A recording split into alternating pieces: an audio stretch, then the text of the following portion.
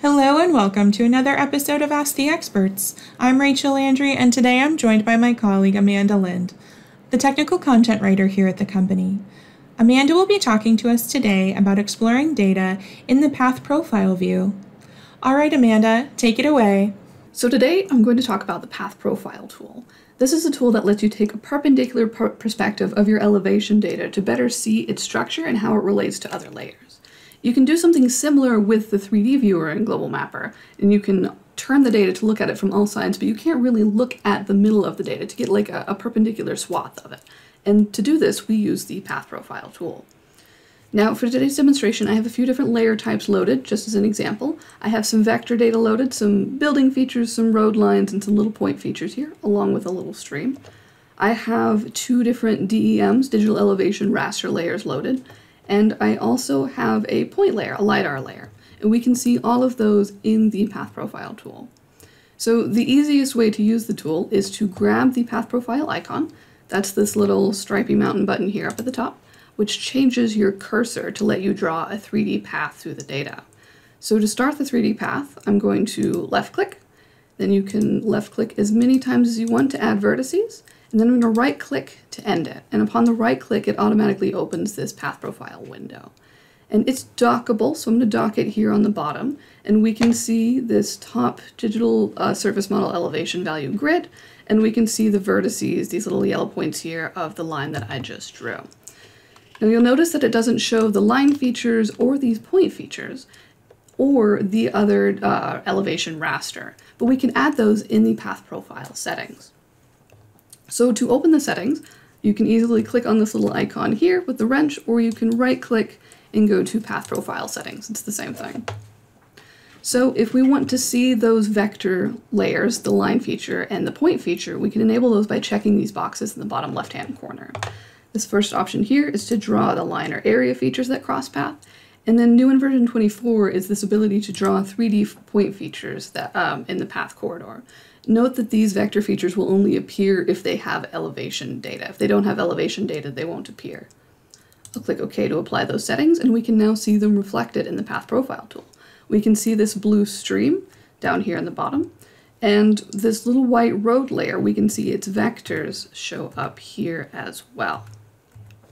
And if I expand the path a little bit, the swath width will be able to see those red points as well. So I'm going to open up the settings again to, instead of looking at a narrow stripe, to look at a little bit wider to grab a little bit more data. And I do that by changing this elevation corridor section here. The distance from path is 16 feet by default. I'm going to go ahead and make it a little smaller. We'll change it to 10. And the default option is to only sample exactly a long path, so this will only look at data that directly intersects the line that I drew across the landscape. To change that, I can choose the option to uh, look at the maximum elevation, the minimum elevation, or the average. So this wants to know what kind of data to display with the um, digital surface model underneath. But since we're just hoping to look at the points, I'm going to go ahead and hit keep average. It's going to change the smooth data to something a little more choppy, but that's okay. I'll click all right and we can see these red point features. Note that they keep the same style, the same color, the same shape settings as in the workspace. So if you want these points to be larger, if you want them to be a different color, then you'll change those in your um, point style settings for that individual layer.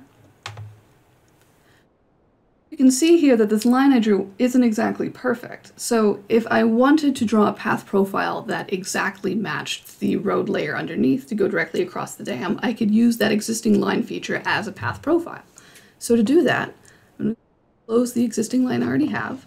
I'm going to grab my digitizer tool and I'm going to select the line feature here. And with the line feature selected, I'm going to right click anywhere in the workspace. I'm going to go to Analysis Measurement, and under Analysis Measurement, I'm going to click on Path Profile, and this will automatically create a path to that existing line feature. So we can see that it matches exactly along those lines, and we can see the little red dots on top of it as well. We can also see that it inherited the, a bit of a wider swath from my last setting. So it's only showing one digital surface model here. It's only showing this top layer. If we want to show both layers, that's another setting within the Path Profile tool. So turning the settings back on, I'm going to change this back to only keep sample along path just because it's a little smoother. And then I'm going to check the option to draw separate line paths for each terrain layer. And this is going to draw a new line along with the existing line so we can see and compare those two terrains.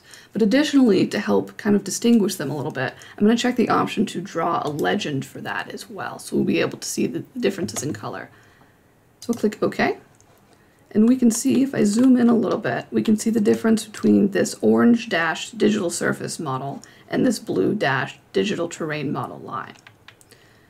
The colors from these can be changed in the right click menu in um, the path profile tool. So click anywhere in here and here are a bunch of different options to let you change the color. So you can change the background color of the entire path profile tool here. You can see the default is white, but if you're working with LiDAR data, something where you have a lot of light gray points, sometimes changing this to black can help with that as well to make them stand out a little bit more. With that, you can also change the set text grid font color. So those are these uh, dashed lines and these uh, numbers and labels with a scale bar there. You could change that to white. So if you were to change the background to white, you would want to change the text to black and uh, vice versa. And you can change all sorts of settings here. Also in the Path Profile tool, we can look at LiDAR data. So let's go ahead and turn that option on here. And from LiDAR data, I've already gone through and pre-classified this. We have some ground points, we have some green vegetation, and we have some orange buildings. And from that, I've extracted the building layer here. So we have a footprint, and we have the roof planes. And we can look at that um, from a perpendicular perspective in this tool as well. So I'm going to go ahead and reactivate the Path Profile tool, draw a line across the building, left click to start, right click to end, and then we can see the LiDAR data and the different uh, digital surface model options. Now the ability, the ability to see LiDAR data in the path profile tool is another option in settings. This one is turned on by default, but if you aren't able to see it, make sure this checkbox near the bottom right hand corner is checked to display LiDAR points near the path. Now this option, similar to that elevation corridor we were looking at earlier, this option also um, lets you specify how wide of a swath of LiDAR you want to look at. So if you look at more LiDAR data, you'll get uh, a more in-depth, you'll be able to look at more points, but that can also slow it down a little bit or sometimes make it too noisy. So you can mess with those settings here to um, better fit your particular type of data. I'll click OK. And we can really see the difference here between the digital elevation model, so that's using just the ground points of the LiDAR, and the digital surface model, which is also looking at the vegetation and the buildings too. Now also displayed here, because we have this building loaded, we can see the point features here. You can also see, if I zoom in a little bit in the workspace, as I move my mouse along the path profile tool, you can see a little red X mirrored up in the top window. So that lets you see where in the data you're looking at in the path profile tool. Another way to mark features that you see in the path profile tool is to create a point. So anywhere here that I want to create a point, say I want to put it right on the top of this chimney. I, I don't really, for, for this example, I can say I don't really know what that is. I want to look at it more in the 3D viewer. I can do that by right-clicking there and clicking create a point feature at a cursor location. And this is just like creating a regular vector feature where it'll create a new layer here or you can add it to an existing layer and it'll have the 3D elevation data as well. You can also create line features. Similarly, for that in the Path Profile tool, you'll grab the Measure tool because this allows you to draw the line.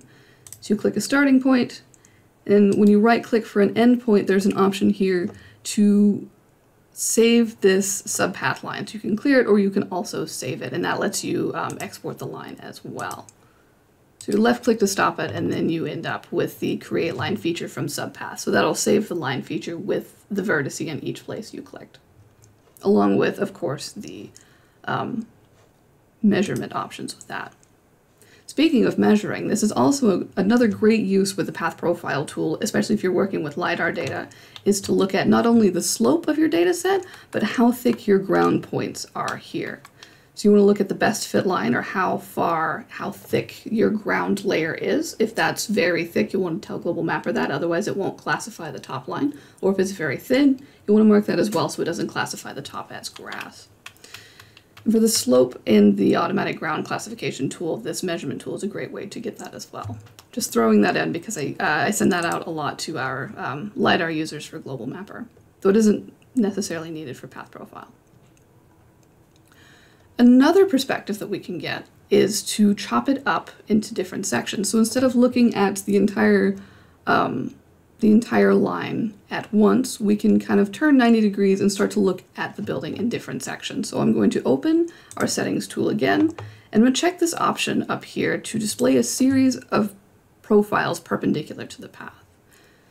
So there's a perpendicular sampling option here, and this lets you choose how many different samples you would like to break your line into. I'm going to leave it at the default of 30, but you can also do it um, by specific meters, so you could draw a path profile every two meters if you wanted to for however many fits in the length of line you've already drawn, or to sample elevations at the, uh, at the vertices of the line you've drawn only.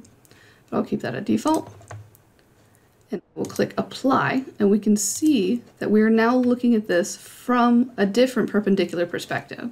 So we haven't come up to the building yet, so you can't see anything, but I'm going to click on this move to next perpendicular profile button, and this lets me scooch along the different profiles I've created. So we can see now this tree right here is coming into coming into view, and we can really begin to see the top of the building there that's been extracted. So we can see those orange LiDAR points, and we can also see the digital surface mile reflected underneath it. And these little black dots are the vertices of the area features that are intersecting with this line as well. So this lets you see all of the different data types and how they reflect in the tool. So you can zoom in and see how Global Mapper created your digital surface model from the LiDAR, and you can make those changes as well, or how your LiDAR classification turned out. Um, there's really no limit to what you can do with the Path Profile tool with your elevation data. Back to you, Rachel. Amanda, thank you so much for that explanation. I know that our users will find it very useful. If you'd like to learn more about Global Mapper or Global Mapper Pro, please visit bluemarblegeo.com today. And as always, thank you so much for joining us for this episode of Ask the Experts, and we hope to see you next time.